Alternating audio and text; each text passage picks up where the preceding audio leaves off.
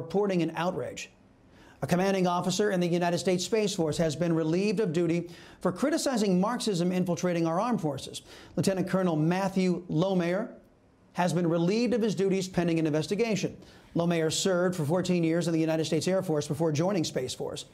He's written a self published book called Irresistible Revolution Marxism's Goal of Conquest and the Unmaking of the American Military. He appeared on a podcast to discuss this book on May 7th. He was relieved of his duties as commander of the 11th Space Warning Squadron at Buckley Air Force Base in Colorado on Friday, May 14th, by order of Lieutenant General Stephen Whiting. The Military Times reported this about the general's decision. Quote, this decision was based on public comments made by Lieutenant Colonel Lohmeier in a recent podcast. Lieutenant General Whiting has initiated a command directed investigation on whether these comments constituted prohibited partisan political activity, end quote.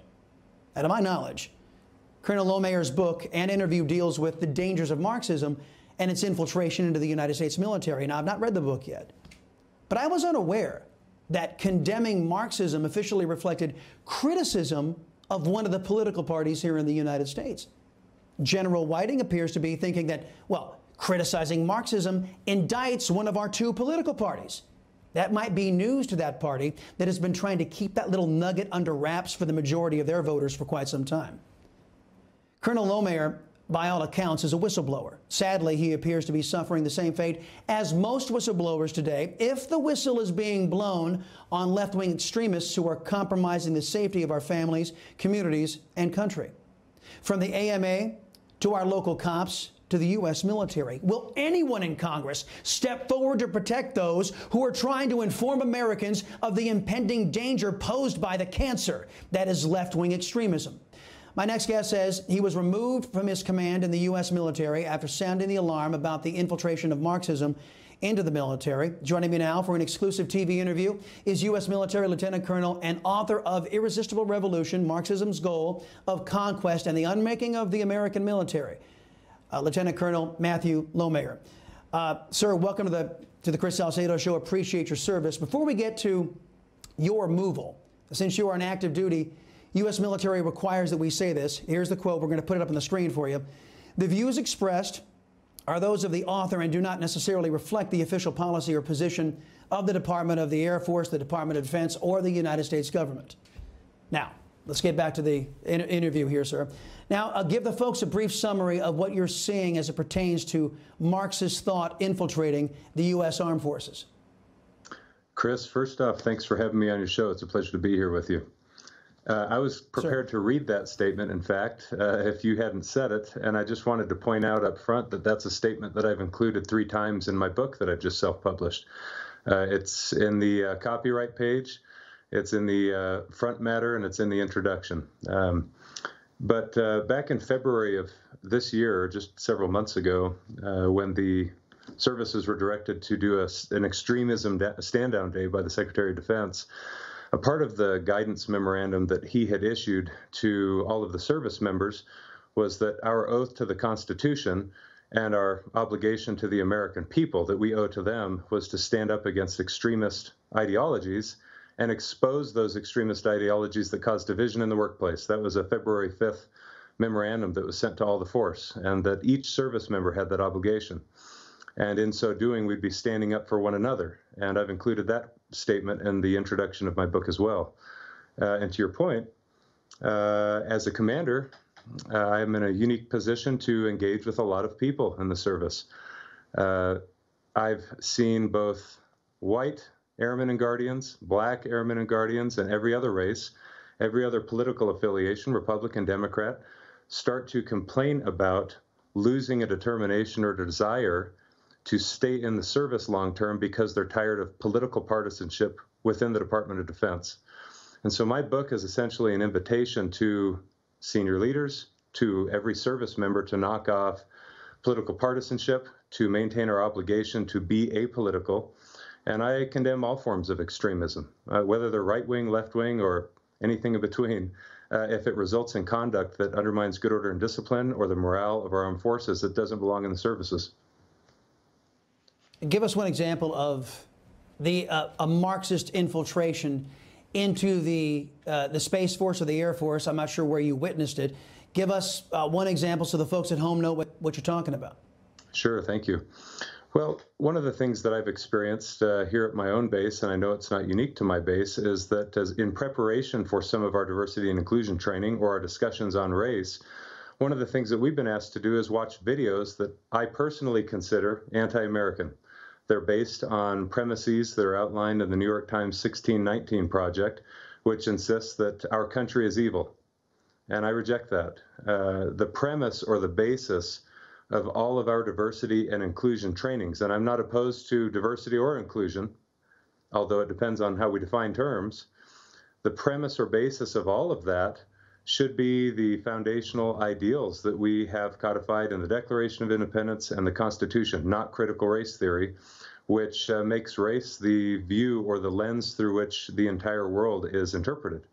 And so these videos that we've had to watch, uh, here at our base uh, teach just that that uh, certain groups are evil or are oppressors, which is uh, specifically rooted in Marxism, uh, based on the color of their skin or any number of other affiliations that they have, or as critical race theorists might define it, intersectionalities.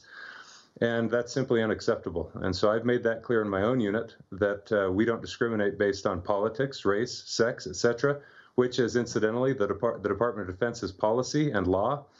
Uh, and yet, to point out Marxism, as you pointed out before we started uh, having a conversation, it surprises me that uh, exposing and attacking critical race theory and Marxism is deemed politically partisan behavior because it's to imply that some part of our domestic political spectrum is necessarily Marxist. Uh, and I think that's unfortunate. Mm-hmm. Uh, Marxism is anti American, and we spent a great deal of treasures and blood and iron during the last half a century combating that very ideology. In full disclosure, folks, reservists and former active duty personnel have reached out to us on the Chris Salcedo show alleging similar conduct that you just heard uh, the colonel talking about right there. By the way, Lieutenant General Whiting says you were removed pending an investigation because not of the book, but of the podcast you appeared on. He is alleging that you got partisan. Is that true? I don't believe that it is. Uh, I'll, I'll tell you, anyone who speaks about these issues necessarily touches upon politics or po- political ideology. I acknowledge that right up front in the beginning of my book. Uh, to your point, I don't think that uh, Space Force or Air Force leadership or Department of Defense leadership have ever had an opportunity to read my book before being relieved of command. I've never spoken with any leadership in my chain of command or uh, in the Department of Defense about the contents of my book since it's been published. I don't know that they would have had the opportunity to get their hands on it quickly enough. Uh, but I also disagree with the idea that I've been politically partisan. Uh, I've been largely apolitical in most of my adult life. I participate in the political process. I don't care what the po- political views of my my fellow service members are, the young airmen and guardians that I was a commander for. Uh, I don't care what their religion or non-religious views are, because that has nothing to do with their oath to the obligation, uh, their oath to the Constitution and uh, frankly, they're entitled to their beliefs and their and their opinions. And so, when we start to see within the services a break or a fracture of the force because people are being trained that certain groups are oppressors and others are oppressed, that's when it's time to speak up and identify, as the Secretary of Defense invited us to do, uh, extremist ideological views that are divisive. And so that's what I've attempted to do with the book. Well, I wanted to ask you about the book because I can understand that you're sitting there and you're seeing all this stuff going on and you want to let the folks at home know uh, because it compromises the safety and security, in my opinion, the safety and security of the United States, the people of the United States. However, there's the downside to that. By revealing it to the, the people of the United States, you're also tipping off our enemies that this kind of nonsense is going on. Did you have any trepidation about, about that being a double edged sword? Not in the least. And here's why. Our enemies are very aware that this is going on in the United States, specifically China. There's nothing more that uh, Xi Jinping or the Chinese Communist Party would like more than to have uh, U.S. citizens, first off, uh, worst of all, U.S. service members in uniform getting at one another's throats because they are starting to entertain divisive and competing and fundamentally incompatible narratives of American history, for example, uh, with, with one another. Uh, and so I have no trepidation about the idea that we're somehow making the world aware of our, what I'll call, in my own personal view, buffoonery. Uh, the whole world is on notice. They've been watching us very closely. My hope in writing the book, however, is that we'll begin to start a dialogue. People will take courage because they've sensed that something is off, and now they can be educated a little bit better to understand the uh, lineage of ideas that we're seeing show up now in 2020, 2021, and it precedes that, in fact, by many decades. Colonel, I appreciate the service to this country, and I appreciate you coming on to the Chris Salcedo show to let the folks know at home what's going on. Uh, keep in touch with us, and we'll talk to you soon, sir. It's, it's fantastic to see you. From our, our military to our police, to dedicated public servants, they're, they're afraid. Afraid to come forward about these left wing toxic policies that put us all at risk. Should the Republican Party in Congress be looking to protect whistleblowers like the Lieutenant Colonel? We absolutely should. I find it uh, very interesting that the left always wants to protect whistleblowers. They always want them to go, go forward when they talk about Republican politicians. But when it goes to something as, frankly, as disastrous to a military unit um, as critical race theory, where you're pitting literally one race of servicemen against another behind this radical notion of the oppressed and the oppressors, we have to protect these whistleblowers. I want to personally thank the lieutenant colonel for stepping forward and having not just the courage in his walk as a member of our armed forces, but in his walk as an American citizen to tell the truth about what's happening behind behind closed doors with our military personnel. This is outrageous. And whether it's anybody in the military or even teachers and uh, administrators in our schools schools across America, it is time for Americans to come forward and speak the truth about this radical agenda that is moving through too many schools and too many ranks of our military, and frankly, too many departments in our government that is critical race theory. Americans need to come forward and tell the truth about this.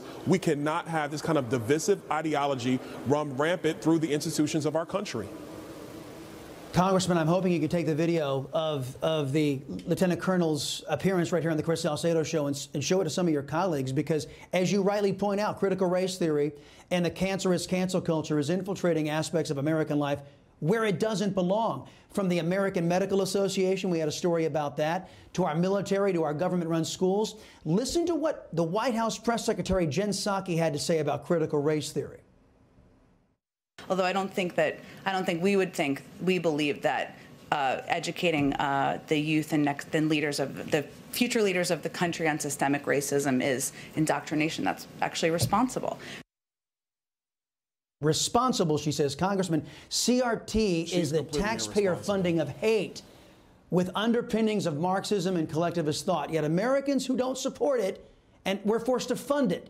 Is this a federal fight or a state fight as you see it?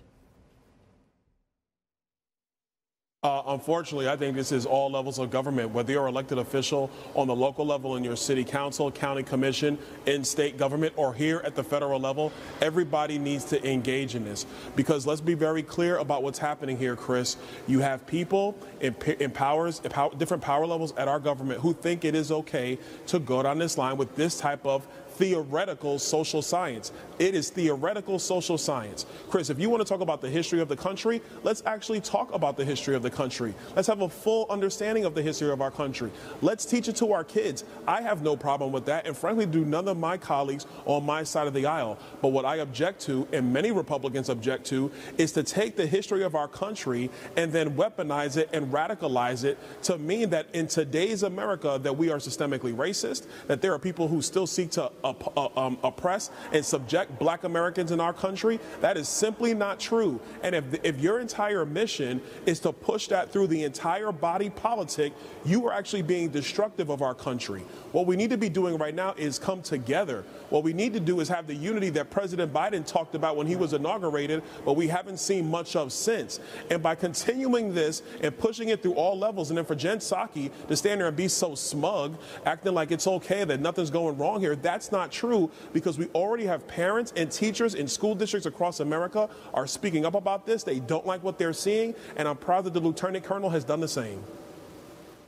All right, turning to Mad Maxine Waters. She's been reportedly abusing the air marshal program, as other lawmakers have, when flying from D.C. to Minneapolis to threaten the local community there with violence alongside BLM and the George Floyd case. According to the Air Marshal National Council, Waters was already accompanied by, get this, two armed Capitol Police, two U.S. Secret Service agents, when she allegedly requested two air marshals and two more marshals after that upon touchdown to escort her to the airport or inside the airport, putting the rest of the flying public at risk to divert uh, resources away from them to accommodate her. What do you say about that, Congressman?